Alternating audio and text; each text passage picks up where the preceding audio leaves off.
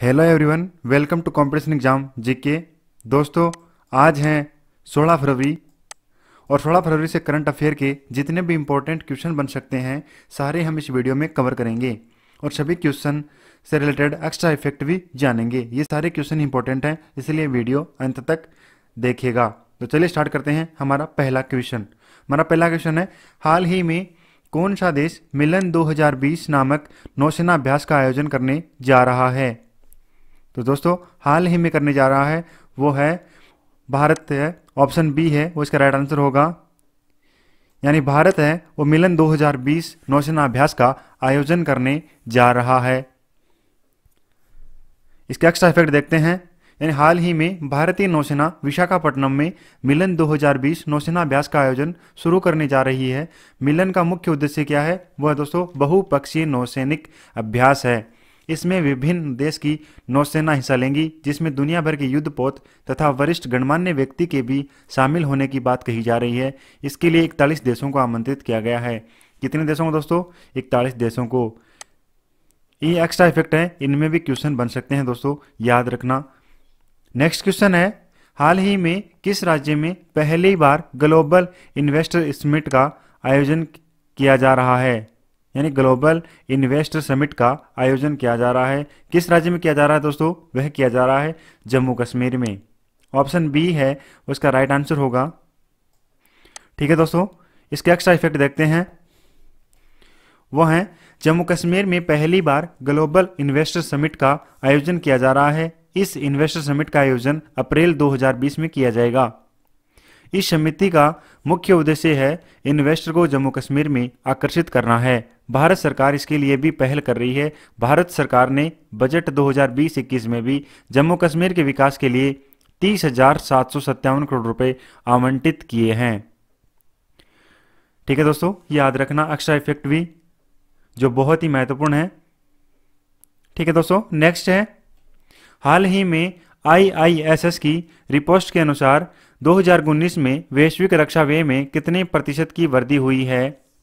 IISS की report के अनुसार, बताइए दोस्तों, कितनी हुई है? तो दोस्तों, वह हुई है चार प्रतिशत। यानी ऑप्शन ए है उसका राइट आंसर होगा। यानी आई आई एस एस की रिपोर्ट के अनुसार 2019 में वैश्विक रक्षा व्यय में चार प्रतिशत की वृद्धि हुई है। इसके एक्स्ट्रा इफ़ेक्ट देखते हैं। दोस्तों, वह हैं, हाल ही में आई आई एस एस यानी international institute of strategic studies वैश्विक रक्षा व्यय में अपनी रिपोर्ट जारी की गई है, जिसके अनुसार वर्ष 2019 में वैश्विक रक्षा व्यय में चार प्रतिशत की वृद्धि हुई है। आईआईएसएस की फुल फॉर्म है दोस्तों, वह है international institute of strategic studies ठीक है दोस्तों, याद रखना आईआईएस की फुल फॉर्म भी। नेक्स्ट क्वेश्चन है, वो है, हाल ही में कहाँ पर पहली इंटरसिटी इलेक्ट्रिक बस सेवा शुरू की गई है? तो दोस्तों, वह कहाँ पर की गई है? तो वह की गई है मुंबई से पुणे। ऑप्शन सी है, वो इसका राइट आंसर होगा। मुंबई से पुणे के लिए पहली इंटरसिटी इलेक्ट्रिक बस सेवा शुरू की गई है। इसके एक्स्ट्रा इफ़ेक्ट देखते हैं। हाल ही में मुंबई से पुणे पहली इंटरसिटी इलेक्ट्रिक बस सेवा शुरू की गई है। इस बस सेवा को केंद्रीय परिवहन मंत्री नितिन गडकरी द्वारा लॉन्च किया गया है। यह बस प्रत्येक दो दिन पुणे, मुंबई से पुणे और पुणे से मुंबई जाएगी। याद रखना दोस्तों, ठीक है? नेक्स्ट क्वेश्चन है। हाल ही में पुलवामा हमले में शहीद सीआरपीएफ जवानों की स्मृति में स्मारक का उद्घाटन कब किया गया? बताइए दोस्तों, इसका राइट क्या होगा? वह होगा 14 फरवरी 2020 को, यानी ऑप्शन बी है वो इसका राइट आंसर होगा इसके एक्स्ट्रा इफ़ेक्ट देखते हैं। 14 फरवरी 2019 में पुलवामा में आतंकी हमला हुआ था, जिसमें सीआरपीएफ यानी सेंट्रल रिज़र्व पुलिस फोर्स यानी केंद्रीय रिज़र्व पुलिस बल के 40 जवान शहीद हो गए, जिसकी याद में भारत सरकार ने 14 फरवरी 2020 को पुलवामा के लेथफोरा कैंप में स्मारक का उद्घाटन किया गया। यहाँ पर सभी 40 वीर सैनिकों की फ़ोटोज़ रखी गई हैं, जिसमें सभी सैनिकों के नाम भी लिखे हुए हैं। कहाँ पर किया गया था तो दोस्तों वह किया गया था लेथफोरा कैंप में स्मारक का उद्घाटन किया गया था। नेक्स्ट क्वेश्चन है, हाल ही में भारत ने किस देश में म्यूनिक सुरक्षा सम्मेलन में हिस्सा लिया है? किस देश ने लिया दोस्तों?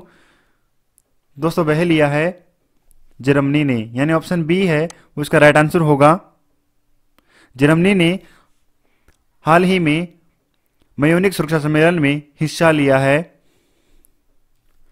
14 फरवरी 2020 में भारत ने जर्मनी में आयोजित मयूनिक सुरक्षा सम्मेलन में हिस्सा लिया है। यह आयोजन 14 फरवरी 2020 से 16 फरवरी 2020 तक आयोजित होगा। इस सम्मेलन में भारत का प्रतिनिधित्व केंद्रीय विदेश मंत्री एस जयशंकर कर रहे हैं। कौन कर रहे हैं? भारत का प्रतिनिधित्व? वह कर रहे हैं केंद्रीय विदेश मंत्री एस जयशंकर कर रहे हैं। नेक्स्ट क्वेश्चन है, हाल ही में भारत सरकार ने किस राज्य में दो एम्स और नौ मेडिकल कॉलेज बनाने की घोषणा की है? कहाँ पे की गई है? तो वह की गई है जम्मू कश्मीर में। ऑप्शन डी है, वो इसका राइट आंसर होगा। यानी कि जम, हाल ही में भारत सरकार ने जम्मू कश्मीर में दो एम्स और नौ मेडिकल कॉलेज बनाने की घोषणा की है। ठीक है दोस्तों नेक्स्ट क्वेश्चन है। हाल ही में किसे एयर इंडिया का चेयरमैन व मैनेजिंग डायरेक्टर के रूप में नियुक्त किया है? एयर इंडिया का चेयरमैन व मैनेजिंग डायरेक्टर के रूप में किसे नियुक्त किया गया दोस्तों? वह किया है राजीव बंसल को। यानी ऑप्शन डी है, वो इसका राइट होगा।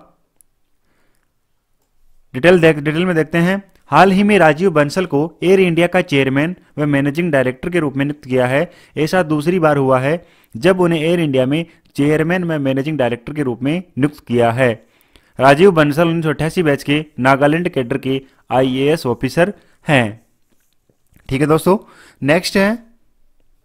हाल ही में प्रवासी भारतीय केंद्र का नाम बदलकर किस नेता के नाम पर रखा गया है? बताइए। तो दोस्तों, वह रखा गया है सुषमा स्वराज, यानी ऑप्शन बी है, वह राइट आंसर होगा इसका। सुषमा स्वराज के नाम पर भारतीय केंद्र का नाम बदलकर रखा गया है।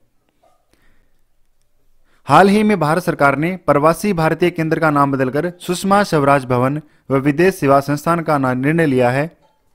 यह फैसला केंद्र सरकार ने उनके जन्मदिन के मौके पर लिया गया। उनका जन्म 14 फरवरी उन्नीस सौ बावन को पंजाब के अंबाला में हुआ था।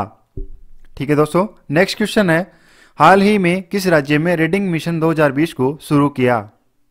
दोस्तों, वह कब किया गया? वह किस राज्य में किया गया? वह किया गया हरियाणा में। ऑप्शन बी है, उसका राइट होगा। हरियाणा में रीडिंग मिशन 2020 को शुरू किया गया है हाल ही में। हाल ही में हरियाणा सरकार ने अपने राज्य में रीडिंग मिशन 2020 को शुरू किया, जिसका मुख्य उद्देश्य युवा छात्रों के बीच पढ़ने की आदत को बढ़ावा देना है। ठीक है दोस्तों, मुझे उम्मीद है कि आपको वीडियो पसंद आया होगा। अगर आपको वीडियो पसंद आया है तो लाइक ज़रूर करें। और अब अगर आप हमारे चैनल पर नए हैं तो प्लीज़ सब्सक्राइब ज़रूर करें, ताकि ऐसे ही करंट अफेयर के डेली वीडियोज़ लेके आता रहूँगा। ठीक है दोस्तों, धन्यवाद।